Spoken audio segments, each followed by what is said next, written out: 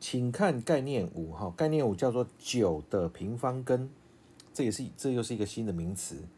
那请看一下，先从这个问题来切入，请你猜猜看多少的平方是九？你猜多少的平方是九？很多同学就说：“老师，我知道这一题太简单了，三三九，三的平方是九。”那我再问你哦，只有这个答案吗？只有这个答案吗？这时候有些同学就会思考一下，他说：“哎，老师好像不止，还有另外一个答案，负三的平方。”也是九，负负得正三三九，所以呢，我们说多少的平方是九？这个答案有几个？有两个，哪两个？一个叫做三，一个叫做负三。所以呢，三或负三，它的平方都是九。三或负三，它的平方都是九。所以这个答案有两个。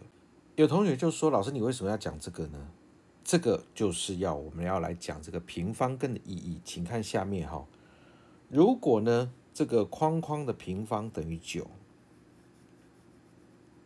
自己乘自己等于九，这个框框我们就叫做九的平方根。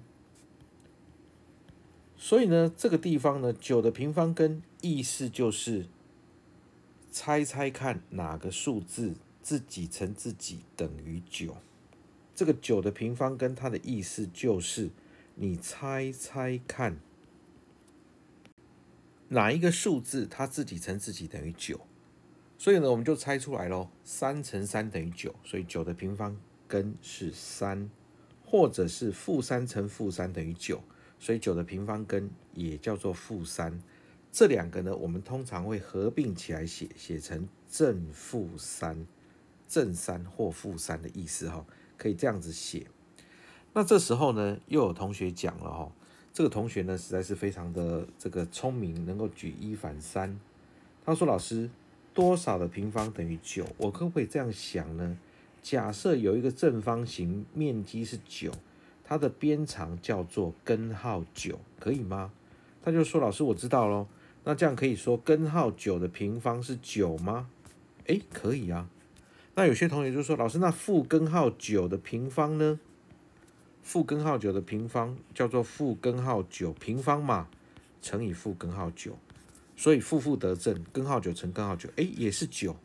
所以这些同学呢，他就说：老师，我知道喽，九的平方根我们可以写成三或负三，三或负三，三或负三，这个合起来叫做正负三。”那也可以写成什么？也可以写成根号九，或者是负根号九。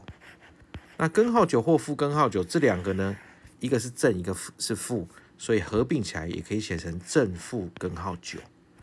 九的平方根有两个，一个是正的，一个是负的。正的叫做正三，负的叫负三。那正三你也可以写成根号九，负三也可以写成负根号九。所以呢，九的平方根叫正负三。也可以写成正负根号九，那有两种写法，好，那再来我们来看零的平方根呢？零的平方根它的意思，哈，它的意思叫做你猜猜看多少的平方等于零？那很简单，那就零乘以零等于零，只有一个。